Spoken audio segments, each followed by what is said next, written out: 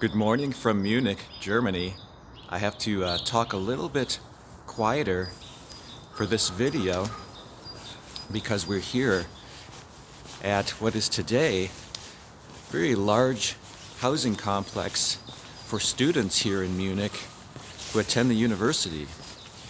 But uh, all of the structures that we're going to take a look at today were originally constructed in the uh, early 70s for one purpose, and that purpose was uh, the 1972 Olympic Games, which were held here, the Summer Games in Munich, Germany.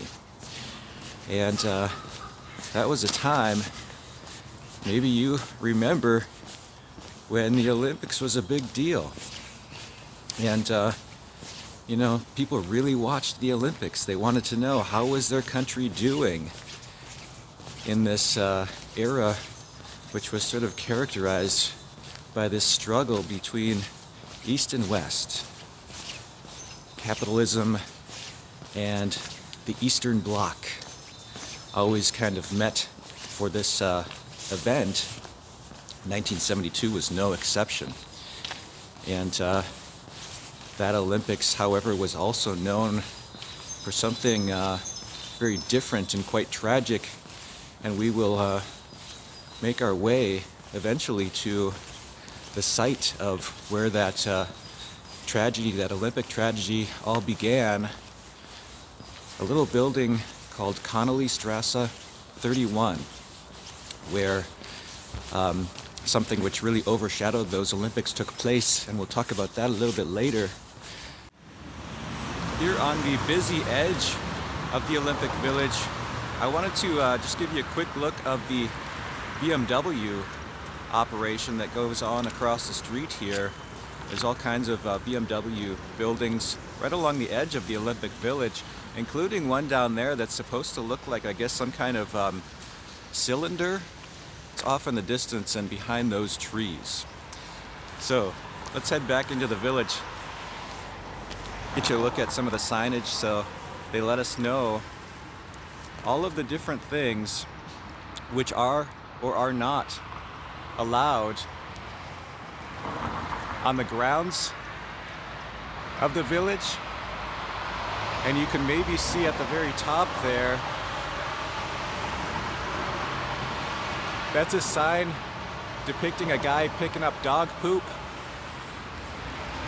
So leave it to the Germans to have some way of depicting every possible thing, including picking up dog poop, because as the sign will uh, remind you, we need to keep the Olympic Village clean and clear of dog poop.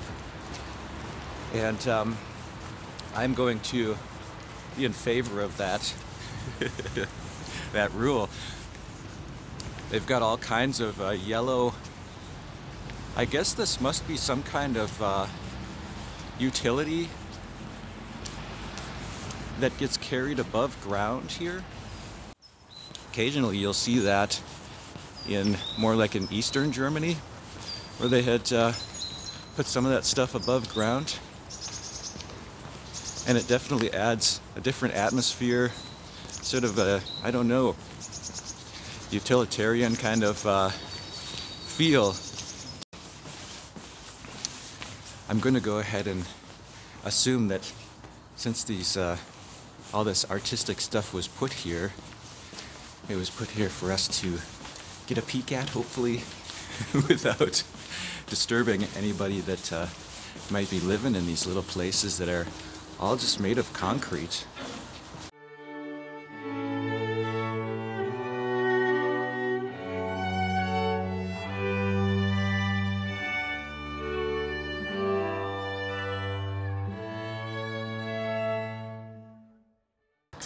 Here we've got some uh, interesting Olympic themed uh, painting here and I believe that it's down this little street that I noticed perhaps the most striking piece of artwork.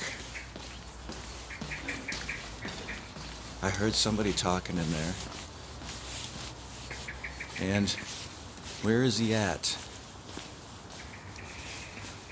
Must be right over here. I do see Popeye, but um, I do believe the star of the show is going to be right here.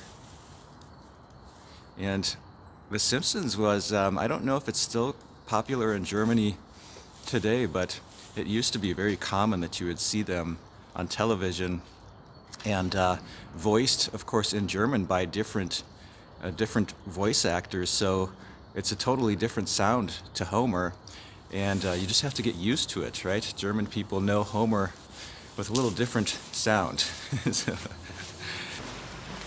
on a more serious note, we are now on officially Connolly Strasse, which goes underneath all these buildings.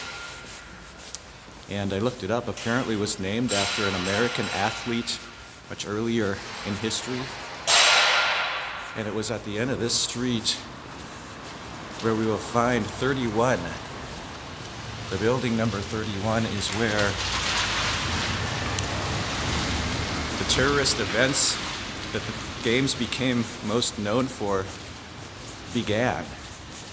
And all of that was done in kind of a strange backdrop for these Olympics because it was the first Olympics in Germany since the uh, games from the 1930s that were held in Berlin during the Nazi period. And of course, the German authorities here in 1972, along with the Olympic officials, really wanted to try to uh, downplay any kind of, I think we're going the wrong way here, downplay any kind of um, sort of appearance of militarism, police state, and that kind of stuff. So the security that was here at the village was more low key. You wouldn't see all kinds of uniforms or lots of guns and that kind of stuff. You would uh, kind of not notice the security, I guess, was the part of the idea. And as it turned out, it seems that there probably was not enough security here on site to uh, be able to really properly secure the village and the games more generally. And uh, it was about, well, it was over a week into the Olympics when these events unfolded here. And I believe it's right over here where we'll find this building. Um, the Palestinian group called Black September climbed the uh, security fence around the village, got through the security perimeter, and came to building number 31 because that is where the um, Israeli Olympic team was being housed. And I came and just kind of found that location yesterday. And it is right at the top of these stairs here. At least the back side of the building is on this side, and then we'll go around to the front as well. But right back here, behind these bushes and trees, that's building 31, where these um, terrorists broke into the building heavily armed and took uh, some of the uh, Israeli Olympic team hostage and during that process actually killed in this initial takeover of the building killed two of the uh, Olympic athletes so that's the the back of the building there what I'm calling the back. And um, the German police initially were going to try to rescue those hostages from the building here in the Olympic Village when it was realized at the last minute that there are so many other buildings around here, lots of people with cameras, and they were concerned that the operations of the German police and their rescue attempts would be broadcast on TV and that the terrorists would actually be able to see them on TV. So at the last minute, they abandoned that attempt to uh, to sort of go into the building and try to get these hostages out. And Black September was demanding two things. Uh, the first was a release of prisoners, Palestinian prisoners held by Israel. And the second thing they were demanding was the release of two German people who were leaders of what was sometimes called the Baader Meinhof Gang, officially known as the RAF or the Red Army faction. And the RAF was a extreme leftist group. And so that's what Building 31 looks like today in this kind of narrow area. And we'll go down, get a look at uh, the plaque that they have at the front of the building as well.